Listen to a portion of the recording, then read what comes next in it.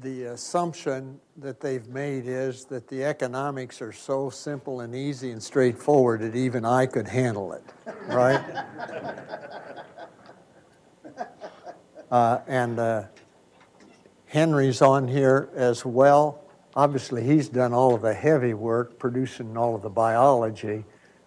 I just get to sit in the office and use my old calculator.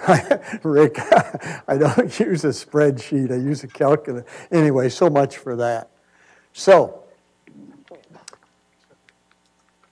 obviously, all of the biology that's been discussed today is critically important. We've got to have the biology. But when it got to, to John and Mark, well, then it's about the economics, right? How does it fit, right? For all of you producers, well, ultimately it's the economics. So I'm going to work on that. When I did this two years ago, I sat down and one of my friendly colleagues said, good luck with that. Okay, I won't mention any names, but, but some of the ideas. And so uh, I, I'm more and more convinced since uh, uh, two years ago that these concepts need to be considered. These are the issues that I think are important for us to wrestle with. How you price the corn grain in the field. I think we all agree that to price silage, you need to have the price of grain out in the field. Okay? How do you do that? Second is plant nutrients. We'll discuss that. And then I won't say any more about shrink. Okay, we've talked about shrink. Obviously, that's important. I'll, I'll, I'll show how it affects the economics a little bit. First, on plant nutrients. In the past, in, in, in many, at least university pricing systems, the purchaser of the silage was asked to pay for the plant nutrients in the fiber forage part of the of the corn silage, right? When you buy corn, that's built into the price of corn, right? What, what the producer had to use for fertilizer to produce the corn. But when we take silage off, we're taking off more, so that needs to be included in the price okay? So the corn producer, and when I, I'm going to discuss this as if it's a separate person like John talked about buying a lot of it, okay? In, in many of the cases that is, is going to be on the same operation, but it's the same principle, okay? But the corn producer uh, wants to be paid for those extra nutrients. On the other hand, if we return the nutrients in the manure, unfortunately for us, I think in the feedlot business, we've not been good at selling manure. I mean, that, isn't that an understatement? We've not been good at selling manure. And so the corn producer wants to charge us commercial fertilizer price for the nutrients we took off, but they don't want to pay us for those same nutrients coming back in manure. Am I right? Yeah.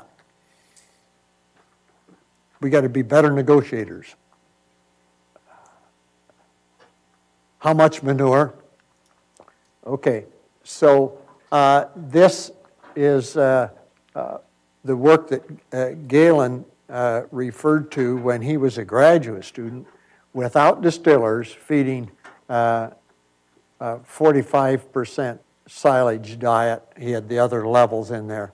But I'm using this to show the nutrients that uh, uh, are, are in the manure then. Um, and the, uh, I don't know about the rest of you that are this old, but I got to have my glasses on.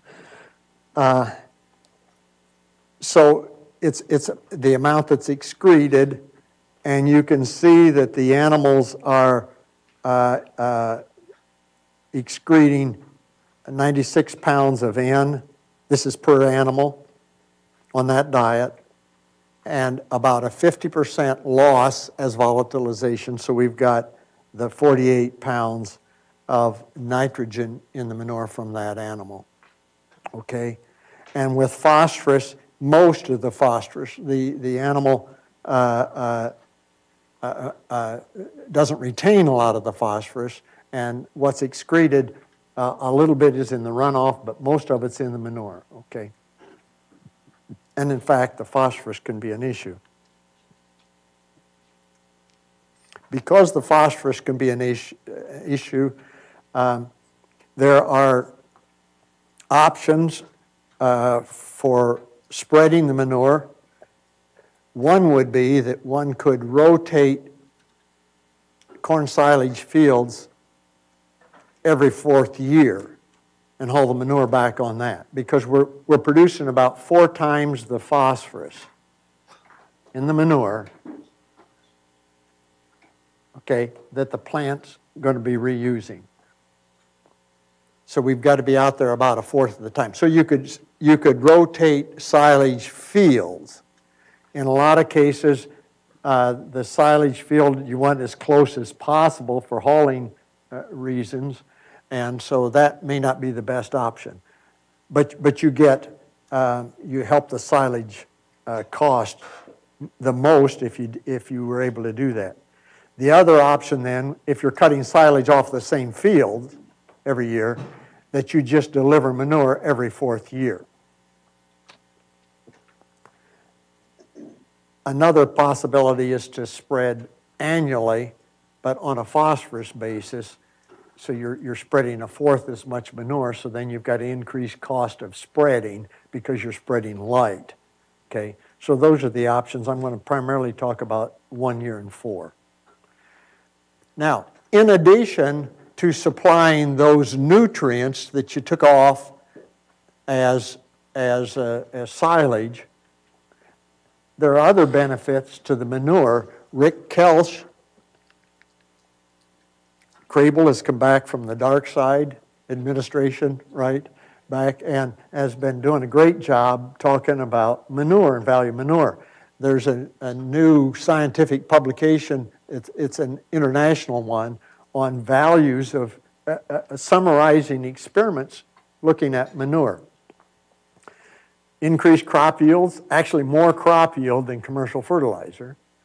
Increased soil microbial biomass, which is good for the soil. That maximum increase in uh, yield is when it's 50 to 75% of the nitrogen that's required, okay? Uh, but not all of it. Uh, decreased nitrogen losses because a lot of it's in an organic form uh, rather than as, uh, let's say, ammonia or nitrate. Um, uh, increased uh, water stable soil aggregates, better soil structure, and increased soil carbon that's, that's due partially to the microbes, so that the manure, not only is it returning those nutrients, so do I sound like I'm on a, it just dripped water on me, but Bob, is that okay? I, am, am, I rained out? Is that, anyway. Um, so uh, if I'm on a soapbox, I'm on a soapbox we have undervalued manure, okay? And this is a good case because getting manure back onto those corn silage acres is tremendously important, right? Because we've taken a lot of forage off. And I won't even go into the uh, cover crops, but obviously that fits super well. Okay. I went the wrong way, didn't I? Yep. This has been shown by both Andrea and, and Galen on, on the silage yield, but this gets to be really important uh, as we discuss uh, the, the value of this silage. To, to, to get to the price out in the field, we've got to know what that yield's going to be. So I've summarized this uh, with the percent grain, again from Rose data, uh, and uh, at black layer. And, and, and the point is that it's about 42% dry matter at black layer and 38 at, uh, at one week before black layer. And so for my economic calculations, I'm going to use 38 because I think, as been discussed, I, while we would get maximum yield at 42, I think the risk for shrink becomes en- enough greater that, that I would be reluctant, I think Galen feels the same way, we'd be a little reluctant to, to be recommending 42. So if 38 is our target, that's what I'm going to use, and it gives me about a uh, 6% yield drag, okay? All right, this may, that's one of the more important things. I mentioned this, pricing the corn out in the field. This is good data, Dan, out of, uh, out of the dis- uh, ag decision maker, what is that? Dis- Yeah, and, and uh, this is, uh, because it shows the soybeans, but it doesn't matter. Uh, Soybeans are unimportant, right? It's all about corn. Uh, That's a supposed to be a joke, but there was not much laughter. So, what happens from October to June, July? As a percent, it goes up uh, 14, 14%, something like that, right? Uh, that's what Mark was talking about, right? About the price of corn goes up from harvest. It's the cheapest at harvest, so nobody wants to sell any corn or silage in the fall because it's so cheap. Now, I like the word cheap, right, students? Uh, but, but in this case, it may not be the best thing. Anyway, anyway, so, and now, this is storage cost. I'm intrigued by this one, and it hadn't struck me that the importance of, of putting it into storage, you had to have the storage facility, right? And you had to put it in. And so that first day that it's in there, you've got a storage cost. And so that's why the, the line doesn't start at zero right? It starts at 30 cents a bushel and then goes up as the corn is stored. What's my point? If you store the corn, you're paying storage costs. If you're the corn producer and you say, I want to price the corn later, uh, oh, yeah, but I've got to pay storage on that. Okay, because I'm pretty simple, I'm just equating these last two figures the increase in price of corn and the cost of storing the corn are, are equivalent. Bottom line is the corn for silage needs to be priced at harvest time. Because you, as the purchaser of the silage, you're paying the storage, right? You've got the silo, You've got the interest that you've got the money tied up, all of that, you're paying that. If the corn producer doesn't price it then, right, he's having to pay the storage cost. And I could get into the storage thing, but I, I think about right as you drive around, bins being built all over the place, right? And it, for those of you a little older, does it amaze you to see it stored outside at elevators, right? Just amazing. Why? Because we're producing so much more corn. And so for a lot of producers, they don't, they don't have a storage. Uh, John or Mark, somebody mentioned this about, actually they want to bring you high moisture corn or silage because they don't have the storage, okay? Well, you shouldn't pay them for spring price of corn if you're doing the storage. You with me? We've not been good negotiators on the silage.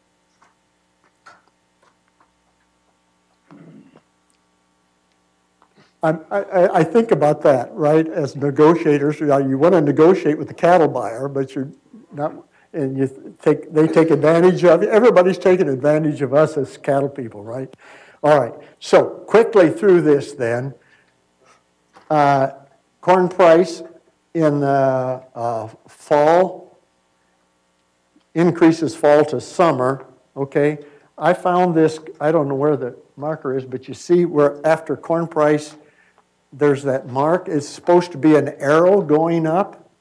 So it's supposed to be as corn price increases from fall to summer, uh, about 47 cents a, a bushel. I don't know how that got changed to a cross from an arrow. Is there some kind of a subliminal message there for me? You got my point, didn't you? Uh, anyway, so I'm saying that corn price increase is roughly equivalent to storage cost. You with me? So we need to be pricing in the field. Uh, fall basis in Nebraska is about 39 cents a bushel, which is roughly equivalent to that same number, okay? Okay, so um, I, I priced uh, September. I did this back on April, in April, because I was working on the economics, right? Uh, and at that time, uh, corn would have been 373 with the basis adjusted. It's 412, okay, minus the basis. All right. Then the next issue is uh, harvest, hauling, drying, and, and loss in storage of the dry corn at 47 cents a bushel. That's from our Ag Econ people showing custom rates for harvest and so on. So the net in the field is 326.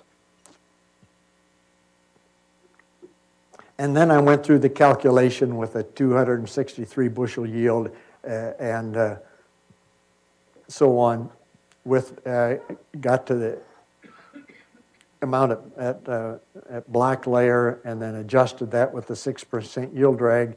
So I came up with uh, 28.69 a ton in the field.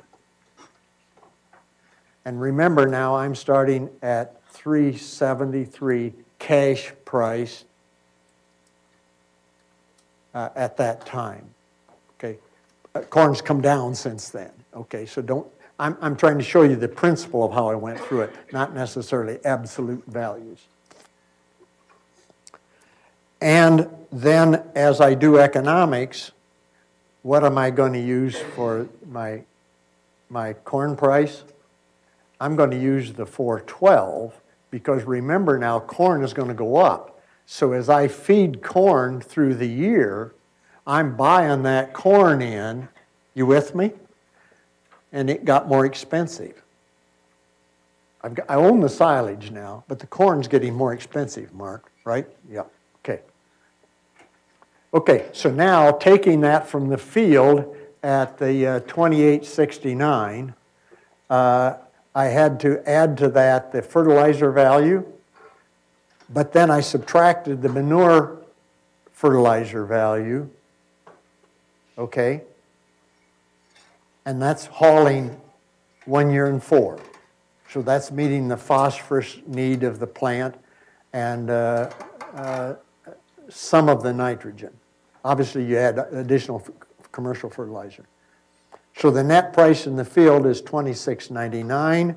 Uh, manure spreading uh, cost is 50 cents uh, um, per ton, of, back to per ton of silage, as is silage.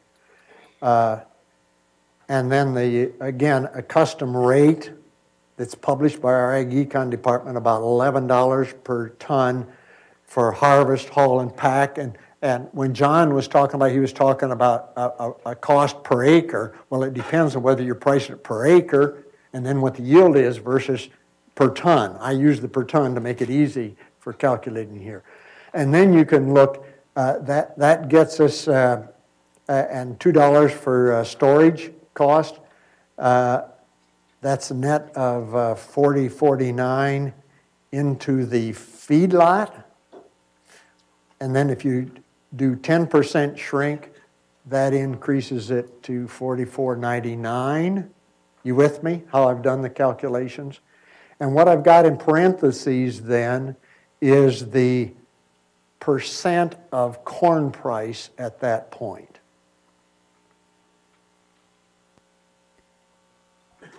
I just realized that. It says silage price to feed bank. It's supposed to be feed bunk, obviously, not feed bank. I, I don't understand. Uh, we've got a great secretary, but sometimes she just doesn't read my writing. Can't guess what I'm thinking, okay? anyway, so much for that. So obviously, the more shrink, uh, the uh, the uh, higher the, the, the price of the silage. Now, as you look at those percentages, if you just use book values for TDN, for example, silage would be in the 80% range, as much TDN as corn grain. Okay, so if we've got values here from 68 to 78, they're still below, right? And when I say value, that's be the cost relative to corn, okay?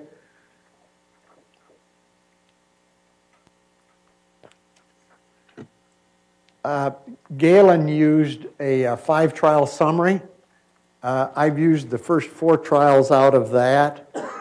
And because they were fed the same number of days, I adjusted this to equal final weights and then added the days that it would take to get to that. Um, and uh, he's discussed the biology, okay? So if you look at the net dollars down at the bottom, at 15% corn silage for those, it was 650 per head, whereas with the 45% silage, it was 1975. Okay? So it was more economical in those four studies, but where the cattle were fed the same number of days, and I made an adjustment. More economical to do the high level of silage, right? All right. Uh, I, I, I, want to emphasize what Galen was saying, and these are just the uh, uh, data from Dirk Burken, where he fed different ratios of silage and distiller's grains. And I want to emphasize the importance of distiller's grains and how this worked. You, Galen made that clear, but the old data of his, when he was a graduate student before distiller's grains, and what we do now, it, it, it have the difference in, uh, in uh, value of the silage relative to corn, right? Big difference. So the, the distiller's grains is critically important to this. The question is, is what the level is at the you, 40 or, or uh, uh, 20% uh, distillers. You can see my net dollars again at the bottom. Uh, that, that net is uh, better at the 40, partially because the distillers is, uh, is a less expensive source of energy than the corn. I should add, in all of these cases where I'm pricing the distillers, I'm pricing it equal to the price of corn. I'm not making it cheap, I'm making it equal to the price of corn on a dry matter basis. Okay, but not a lot of difference between the 20 and 40, but a little bit greater response, right, to the higher level of silage with the 40%.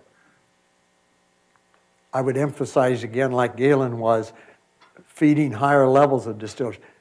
That diet that's 40% distillers and, and 45% silage doesn't have any corn in it. Uh, that was the most economical diet. Okay, Lauren's data has been shown. This is where it went uh, uh, the 15, the control diet, and uh, 45% uh, all the way through, and then the 7515 that Galen just, just described. Okay. I like this because the cattle were taken as close as they could get to an equal fat endpoint, right? And the cattle were heavier, right?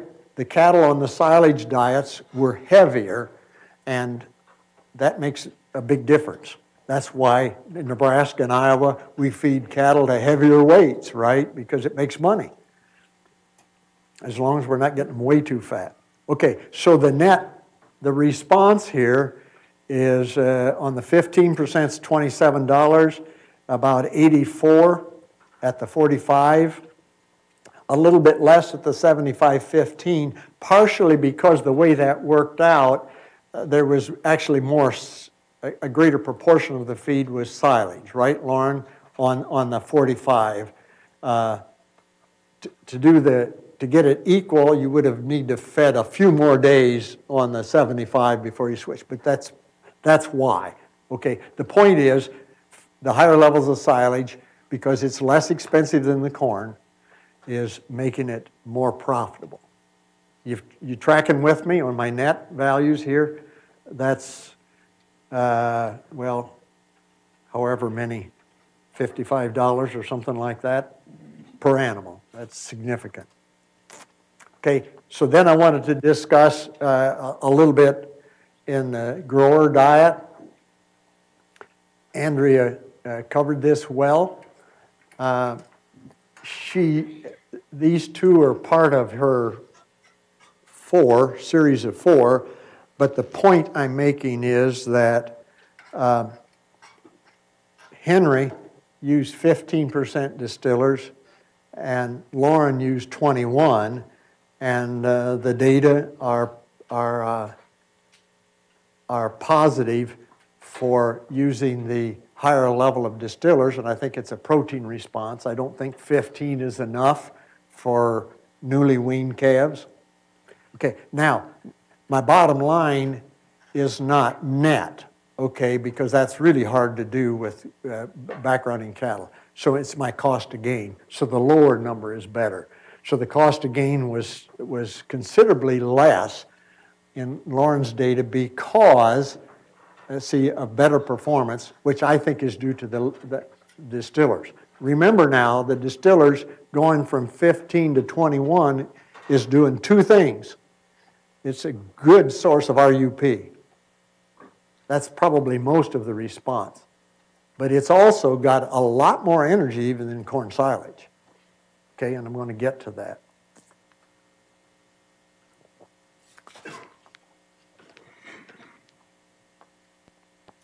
Now, this is also interesting because in Lauren's study, because they were looking at feeding 75% and then shifting to 15, the cattle were weighed, so there's a growing period, right, when they got shifted. So now I'm looking at just the growing period. Which is a unique data set. Okay? And again, I've, my bottom line is cost of gain, not net, okay, because it's growing. Um, at the 45% level, the cost of gain was uh, what three cent, nearly three cents less than at with a finisher diet. Remember, this is the growing period, but the 15% is a finisher diet. So we're talking about during the growing period now. And it allows us then uh, uh, to calculate a silage value relative to corn, which came out to be 96%. So in this growing period, the silage was looking really good, either at the 45 or the 75.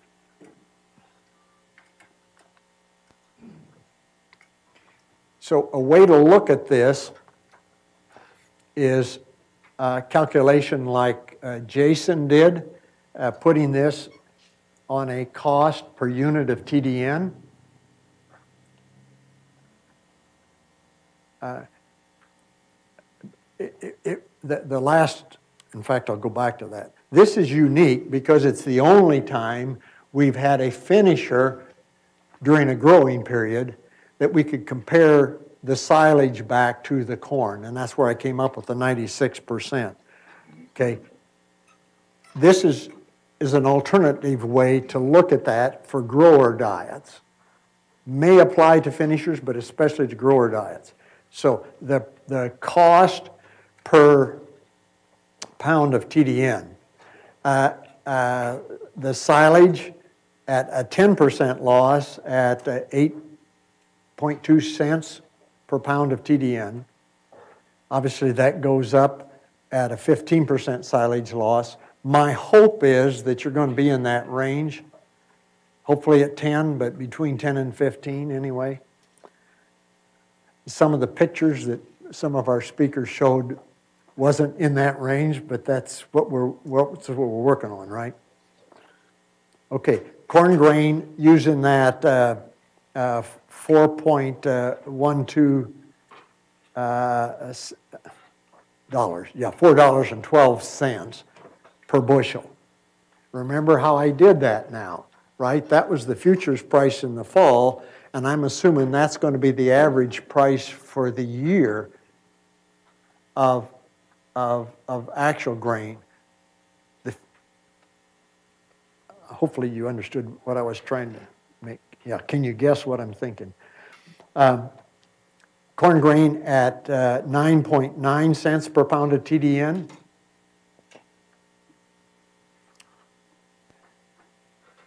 Distillers grains and solubles, this would be wet. In grower situations, it doesn't matter. In finisher situations, wetter is better, Galen says. So wet is better than modified, which is better than dry, right? In grower diets, our data would say it doesn't matter. But it's got uh, over 130% the energy value of corn right? It's got a lot of energy in a grower diet. I can't emphasize this enough. If you think about this, look at the cost here. Distillers priced equal to corn is 7.6 cents per pound of TDN compared to 9.9 for corn, and it's even a little cheaper than the silage, right? So distillers is our best buy for energy. And what are we getting in addition? For nothing? If we're buying it for energy, what are we getting for nothing? RUP, right? This is why it fits together. I could go off on a tangent, but quite frankly, the ethanol industry is what's influenced all of this, right? The ethanol industry and feeding wet byproducts was a major reason I think we shifted away from corn silage to corn stalks because it covered it up. Right? I don't have corn stalks on here. Who said corn stalks was, did you say that? Was cheaper or did John say that? Was it cheap roughage? You said that. And you were wrong.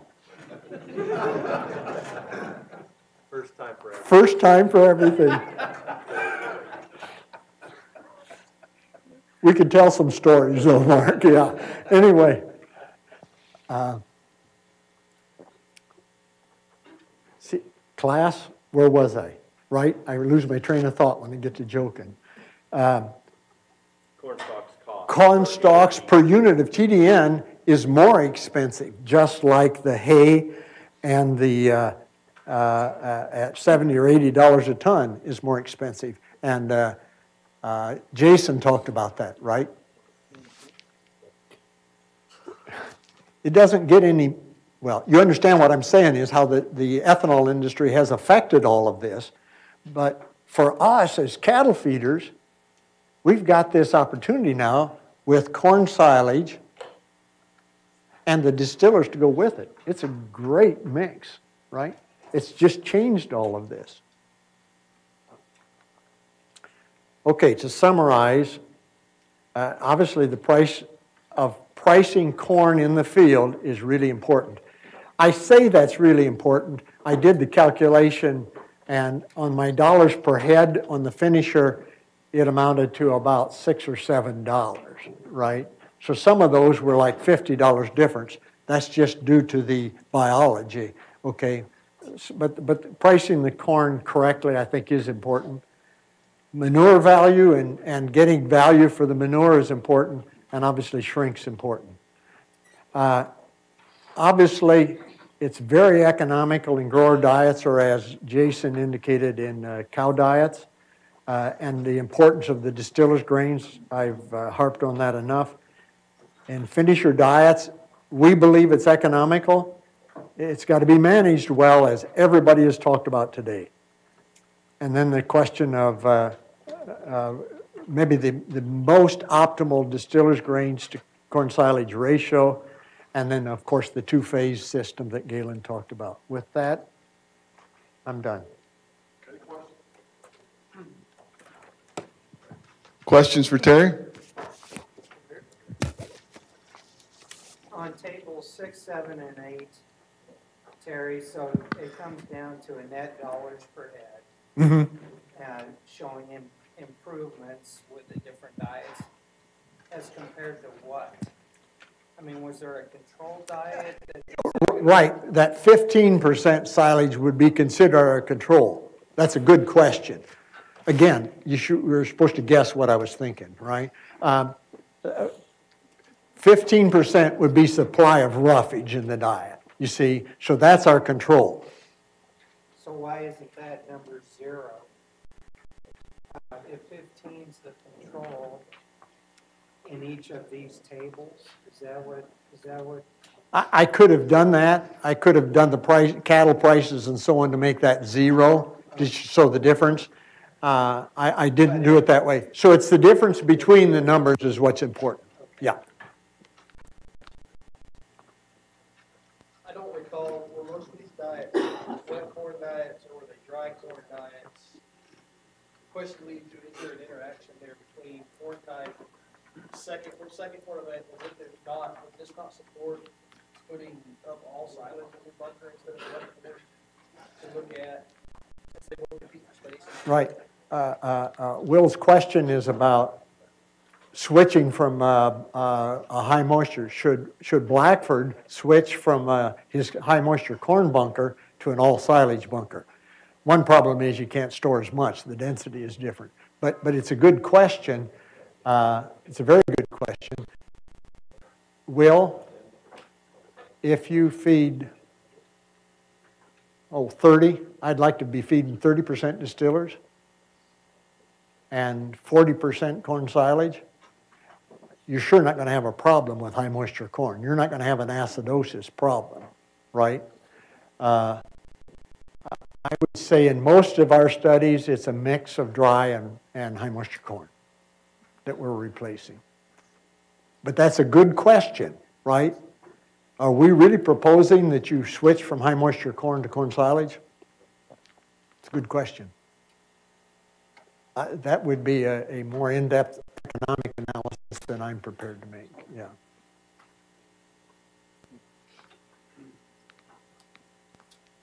Other, other questions? Okay, let's thank Terry. Thank you.